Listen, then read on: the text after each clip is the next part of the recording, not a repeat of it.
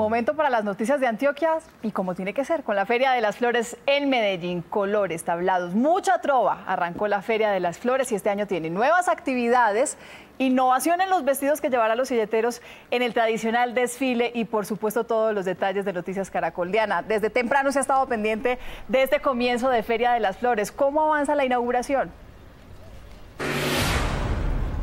Así es, Mónica, con mucha expectativa, ansias. De hecho, yo sé que usted quisiera estar aquí en Medellín para vivir la Feria de las Flores. Son 668 ramos como estos que están haciendo estos gigantes que ustedes están viendo. Los gigantes de flores que van a estar durante 10 días en caja de madera en Plaza Mayor, para que todos los visitantes que llegan a Medellín pues observen que acá se está representando las cinco fiestas de cinco regiones de todo el país, pero en flores. Pero nosotros también encontramos eh, en esta feria y encontramos que los silleteros de hecho les cambiaron hasta el vestuario. Miren la nota.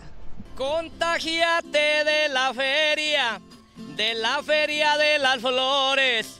Los invita Caracol con silleta y trovadores. Comenzó la feria más grande de Medellín y los paisas, la Feria de las Flores, y con ella los gigantes de margaritas, orquídeas y obviamente los silleteros, que este año tienen algo especial. Este año, como nos han hecho una declaratoria de Patrimonio Inmaterial de la Nación a la cultura silletera. Después de 58 versiones de la Feria de las Flores, por fin los silleteros son reconocidos por el Ministerio de Cultura. El patrimonio cultural de la Nación significa mucho cuidar nuestro patrimonio, cuidar nuestra cuidar nuestra tradición, cuidar el vínculo con lo campesino que hemos tenido con nuestros ancestros, cuidar nuestro territorio, tenemos que proteger también lo que es la silleta. Esto hizo que se diseñara un vestido especial para los campesinos que destacara aún más la tradición porque hicieron una investigación y el traje que usábamos anteriormente no era el traje indicado, sino que este era como el de nuestros ancestros. Y es que Medellín pasa de innovación de la moda y le da paso a las silletas, la tradición y la cultura. Venga para que disfrute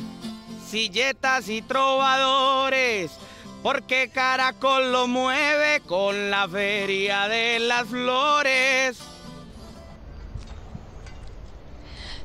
Trovadores, pues eso también se verá en la Feria de las Flores y hoy precisamente con música comienza este gran evento en Medellín, en el obelisco, un tablado completamente gratuito para todos los visitantes y obviamente para los propios. Flores para todo Colombia porque en Medellín comenzamos con la Feria de las Flores. Información desde la capital de Antioquia, Diana Pérez, Noticias Caracol.